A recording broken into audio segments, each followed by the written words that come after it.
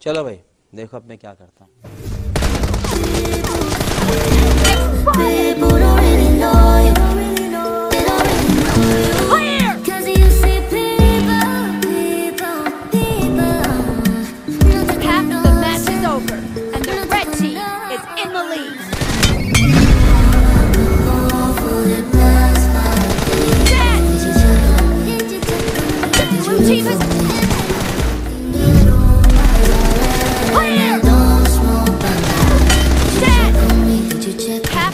So.